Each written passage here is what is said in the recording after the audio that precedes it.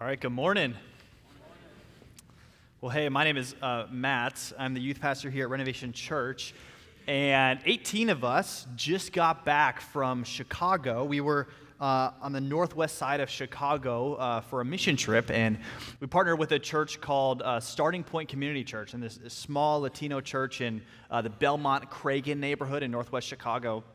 And we were there serving them, and they were sending us to do outreach uh, over the past week or so. And, and it was awesome. I mean, the, the church that we were at, the pastor, um, they do bilingual Spanish and English uh, messages, not just services where you might have like one person preaching and another person translating, like bilingual messages where he would start in Spanish, he would translate that part into English, he would continue in English, and then he would translate the next part in Spanish. And he did this for like 45 minutes, and I can barely get one language out. So uh, it was very impressive. Um, but a couple of things that we did there, we were um, the church, eh, small church. Like we got a big room in here, and we're blessed. This church had like 15 to 20 people there on a Sunday morning, not including our team.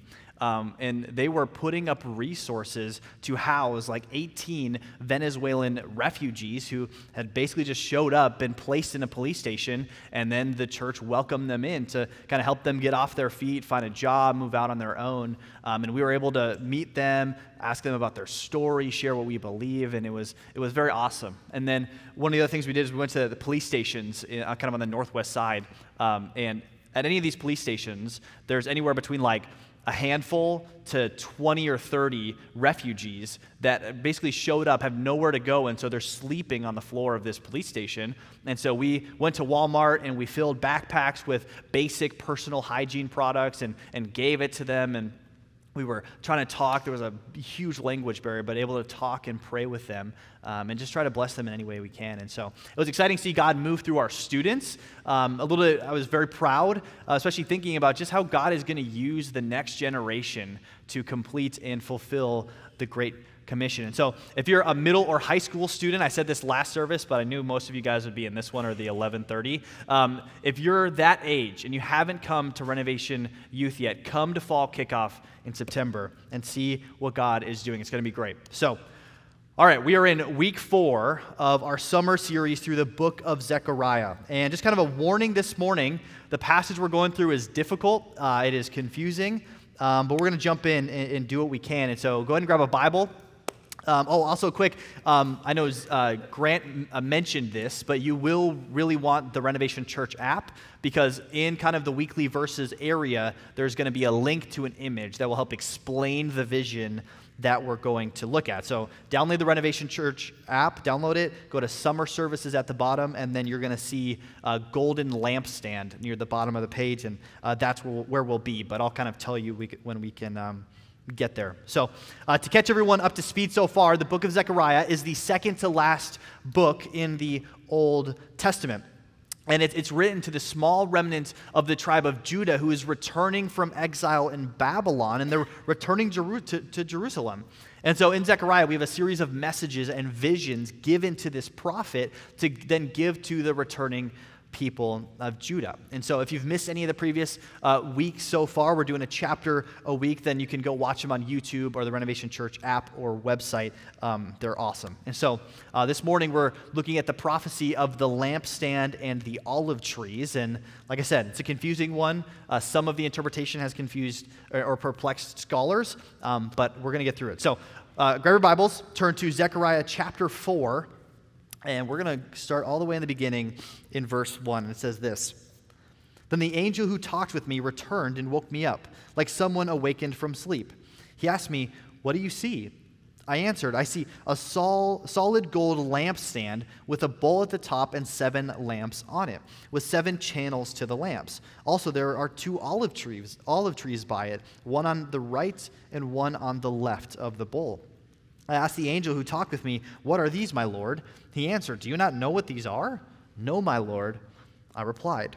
And so Zechariah is receiving this vision from this angel of God. And it says that the angel woke him up. And I know all the parents of teenagers at the very, very beginning are going, Yep, I know what this angel's going through. Yep, these hard to get these kids up.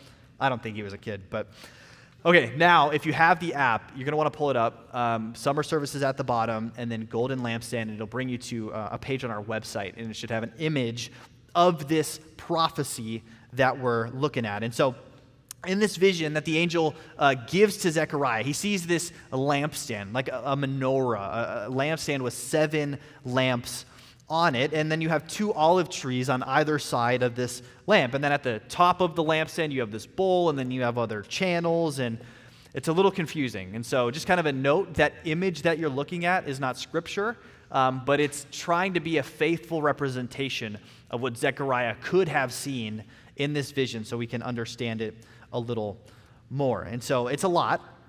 But regardless of exactly how it looked, as you can see on that image, here's kind of the point of this vision the point of the lampstand and the olive trees and the channels and the bowl and the oil and everything. So, the lampstand, in all of its complexity, and is an image given to Zechariah as an encouragement to rebuild the temple in Jerusalem. And so, uh, if we look at other um, worship centers in the Old Testament, like the tabernacle or Solomon's temple, they had a, a physical golden lampstand in it and it, the, the, the, priests would keep it uh, lit at all times. And the goal was that this, the, the, the picture that this presented was God always dwelling with his people, his perpetual dwelling with the nation of Israel, which, by the way, is kind of a, a, little nod to Jesus, right? Emmanuel, God with us, and then at his second coming, we'll be with him um, forever. That's kind of a cool uh, nod to Jesus. But so the, the, the, the prophecy, this vision, is an encouragement. Hey, Zerubbabel, rebuild the temple because the, the temple was destroyed about 70 years ago after the people of Judah and Israel were sent into exile. And so this whole time, while, is, or while the people of Judah are in Babylon, they're in exile, God has desired to dwell with his people. And now he's calling them back to Jerusalem to reestablish the kingdom of Judah, to reestablish the temple so that God could be with them. And so we see that God desires to dwell with his people and he's commanding them to, to rebuild the temple. And if we kind of think or put ourselves in their shoes, uh, they're returning. many of them have never seen Jerusalem, and if they have, they're very, very old, not of working age. And they get back to Jerusalem and they see this pile of rubble this mountain of rubble where the temple used to be, right? A harder project than just starting from scratch. And they're like, we don't even have a wall set up yet. We don't have a military yet. Like, it is illogical for us to put all of our resources into rebuilding this temple. But God tells them to build it anyway, and He says that He's going to be with them. So, uh, grab your Bible again. We're going to skip down to verse 11, where the angel uh, continues to explain this prophecy or this vision to um, Zechariah. It says this Then I asked the angel, What are these two olive trees on the right and the left of the lampstand? Again, I asked him, What are these two olive branches beside the two gold pipes that pour out golden oil? He replied, Do you not know what these are? No, my Lord, I said. So he said, These are the two who are anointed to serve the Lord of all the earth.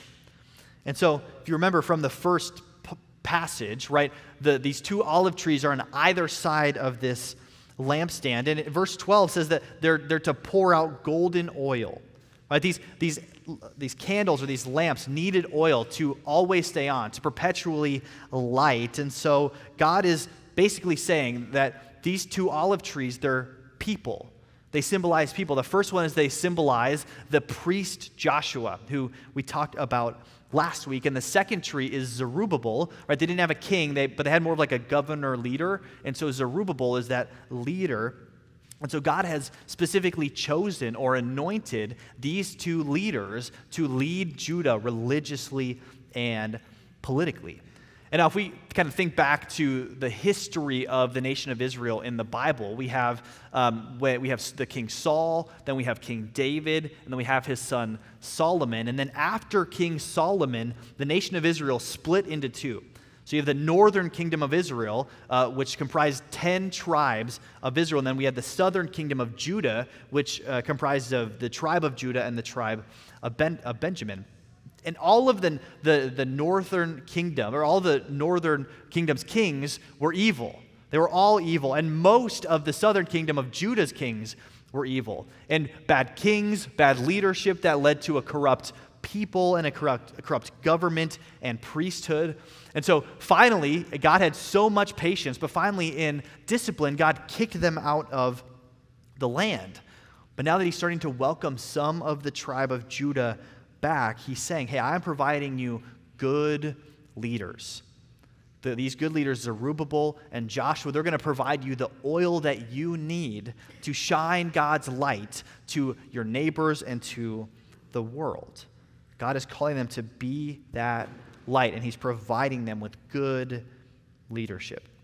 And so, in chapter 4 here, we kind of have this weird structure. So at the beginning, we have verses 1 to 5, and at the end, we have verses 11 to 14, and they kind of act as uh, an explanation of this vision that Zechariah is seeing.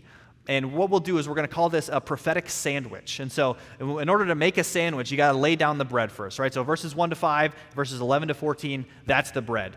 But the good stuff, like the meat and cheese, the meaning and the application, is found in the middle portion, verses 6 to 10. And so, in this prophetic sandwich, we're going to see, or we're going to go now to the middle part. And if you're, uh, if you're vegan, these middle verses are your hummus and your lettuce on your sandwich.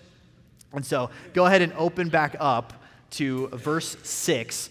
And now we're going to kind of go back in this passage. And just kind of a warning this is a little confusing because, as a way for the angel of God to explain this vision to Zechariah, he explains it by giving messages to Zerubbabel. So, just kind of a heads up, that's it's a, it's a little wonky all over the place. So, all right, let's pick up verse 6, and it says this So he said to me, This is the word of the Lord to Zerubbabel not by might nor by power, but by my spirit, says the Lord Almighty. What are you, mighty mountain, right? This pile of rubble before Zerubbabel. You will become level ground. Then he will bring out the capstone to shouts of God bless it, God bless it. And so that leads us now to our, our main point this morning. We have two main points. If you're taking notes, you can write this down. And also, I got to tell you guys, I had an awesome joke if we were outside because we don't have like screens to put our main points on. I was asked David, you know, hey, can we get like Goodyear blimps to have like the main point behind it? And it's like flying behind the stage as we're up here. But apparently, we don't have budget for that. And so, at the annual meeting today, vote for Goodyear blimps. That's what we're going to do for the rest of the summer. All right. First of two main points this morning is this we can't accomplish anything of spiritual significance apart from the Holy Spirit.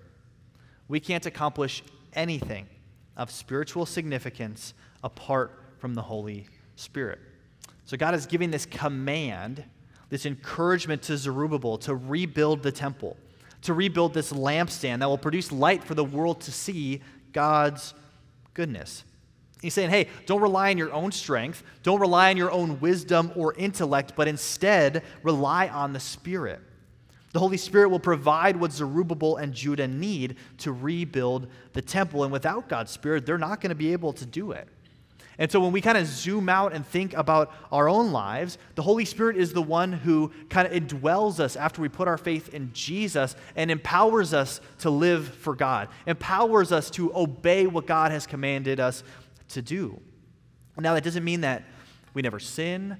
That doesn't mean that every earthly project is guaranteed success. But what it does mean is that we are given the Holy Spirit to lead us closer to Jesus, to lead us deeper into spiritual maturity and deeper in a love and our love and connection to God, right? The Holy Spirit enables us to live for Him. And so when we think about this pile of rubble, where the temple used to be, this mountain of rubble, as the text describes. What is that mountain or that obstacle in your life right now that seems like a mountain that you've been trying to overcome on your own strength? You know, maybe it's uh, at your job and there's a project at work and it seems like this mountain of rubble and you've been trying to conquer it by your own strength, your own intellect, your own resources, your own expertise but you haven't brought it before the Lord. You haven't asked for Him to provide His Spirit and His wisdom and His strength to allow you to overcome that obstacle. Maybe you have an adult child who's wandered from the faith that you tried to raise them with. And it seems like a mountain in front of you, a mountain of rubble, just to have basic spiritual conversations, basic conversations with them about Jesus? What is it in your life that you need to stop relying on your own strength for and instead rely on the Spirit? Uh, my, uh, my house leader, my house group leader, um, and his family recently went through something that seemed like a mountain of rubble in front of them that they didn't know how they were going to get through. Uh, their only child, their four year old girl, um, had some problems breathing. And so they brought her to the doctor, and after some evaluations, they, they found like this golf ball sized um, mass on her uh, tonsils. And so the next day, they operated on, her, uh, on it, they, they took it out. But the doctor came to them and said very confidently that they believe it's lymphoma. And so I have some words from an email Jake sent me uh, outlining what he was going through his head uh, when he heard that, that potential diagnosis. And as they were waiting for the test to come back for many, many days, um, this is how he viewed this mountain of rubble in front of him. So I'm just going to read from this. When the surgeon came out and told us the mass was successfully removed, but he was very confident it was lymphoma, I lost it. At first, I was sad and fearful of losing our only daughter, the one God graciously blessed us with after two miscarriages. And this fear drove me to read and research and prepare and seek medical advice from all the best doctors I knew in the world.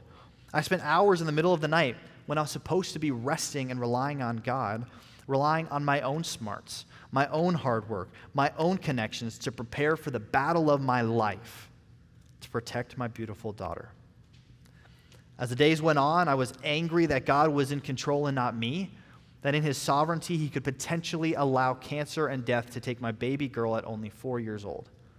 I know sickness and death is not in his will, but that he may allow it and use the pain for something far greater in the light of eternity.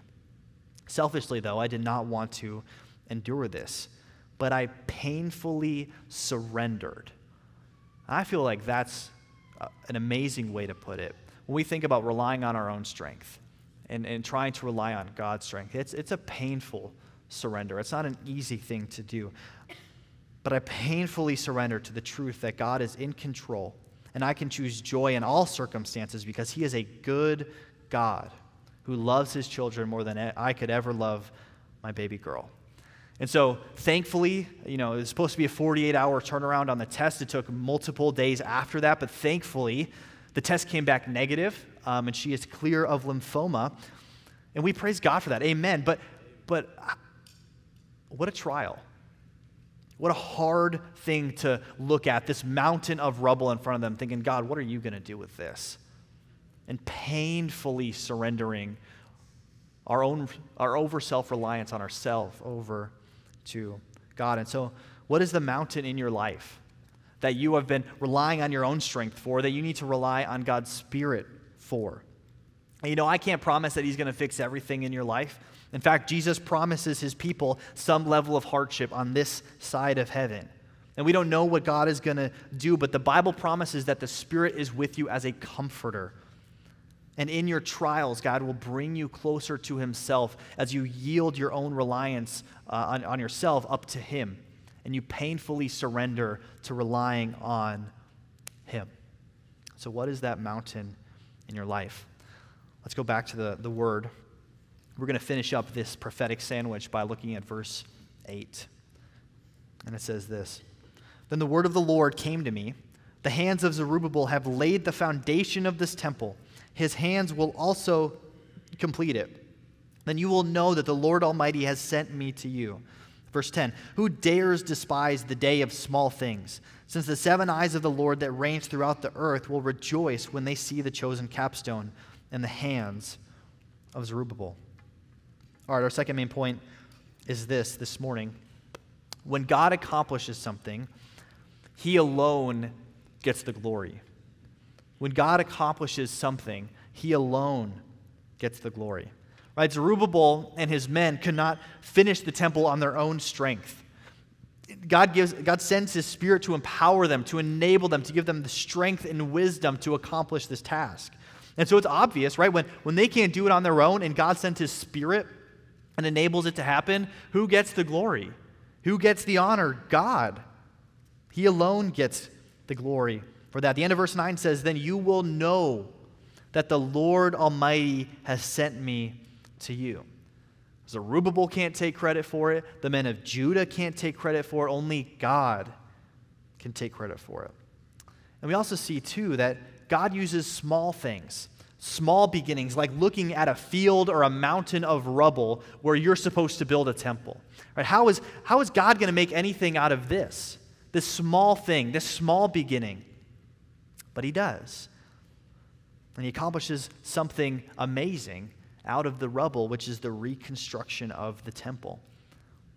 And so maybe there's something in your life right now that's small and you're, and you're just not sure how God is going to use it. You know, maybe you're five days sober from alcohol or five days sober from viewing pornography, and you're not sure if God can continue that on, that small thing, that small beginning.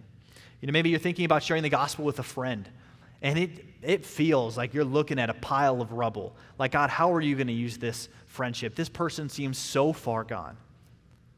But God is asking us to trust Him, to rely on His Spirit and not on our own strength, and that He will get the glory when He accomplishes His work. And you know, we, we kind of see this idea all over the Bible, right? God uses small things, small beginnings for His redemptive plan, His purposes. You know, one of, the, one of God's favorite small things to use are babies, right? What's more small and insignificant than a baby who can't take care of itself for years, right? Fully and completely reliant on its caretakers.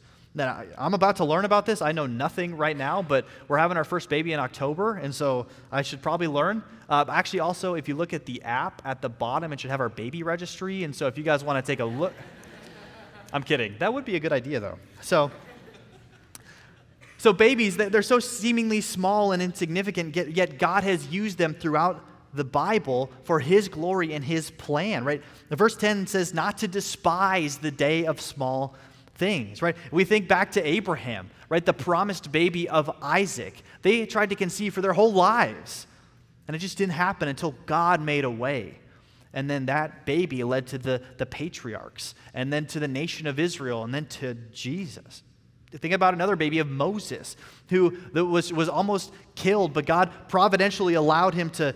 I always picture the, the movie The Prince of Egypt with the alligator snapping at him, right? Moving down the river, and Pharaoh's daughter takes him and raises him, and he ends up leading Israel. God uses him to lead Israel out of Egyptian captivity. Right? But then the best baby of them all was Jesus. God Himself, fully man, fully God. Right? He wasn't set down on a chariot. He wasn't born in a palace. He was born in a barn into poverty. Why? Because God uses small things for his glory. Right? And that baby grew up and he never sinned and he fulfilled the law, he kept the law. But instead of being crowned the rightful ruler of Judah, they kicked him out of town and murdered him in the most brutal fashion known in the first century crucifixion. But when he died, he died as the spotless white lamb of God in our place. In my place with my sins, and in your place with your sins. And he died and he paid for it. Right, and then three days later, he rose from the dead, defeating sin and death, and now he's sitting and reigning at the right hand of the Father over life itself. And so I feel like in a, in a room this large, there, there's got to be some of us that need to submit to that king this morning. You know, maybe you've been like Zerubbabel and, and you know you've got a problem, you know things are not right in your life, and so you've, you've been trying to make it right on your own. You've been trying to be, be better or do better or fix your life, but you just keep returning to whatever's ensnaring you, whatever sin is holding you captive. Right? And so we need the Spirit of God provided through the, the forgiveness and blood of Jesus to enable us to live for God. And you can have that. You can have the spirit that's talked about here in Zechariah in chapter 4 that enables us to live for God, that enables us to do things of spiritual significance. And so if you've never surrendered your life to Jesus, then turn off of that road of sin and turn away from your old life, your old sin, and put your faith in Jesus. And He's going to save you. He's going to give you His Spirit, and He's going to lead you in His ways. And if you do that this morning in the quiet of your own heart where you're sitting, I want to talk to you after the service. We're going to go into another song, and then David's going to come back really briefly. But after the service, I'm going to be off to the side over there with our follow up team. And if that's you, you need someone to disciple you. They need someone to walk with you on this road and this journey, an amazing journey, but a difficult one of following Jesus. And we would love to connect with you about that. So don't be shy of me. Come talk to me after uh, the service over there. All right? Let's pray. God, we hand over our obstacles to you. And Lord, we, we pray that whatever it is in our lives that we're relying on our own strength for, that we would hand it over to you, that you would provide the strength and the wisdom of your spirit, and that whatever you're calling us to in our lives, that the small things, the, the obstacles, Lord, whatever it might be, if we conquer them by the power of your spirit, that you alone would get the glory, and that your name would be made great because of how you work in our lives. And it's in Jesus' holy name that we pray. Amen.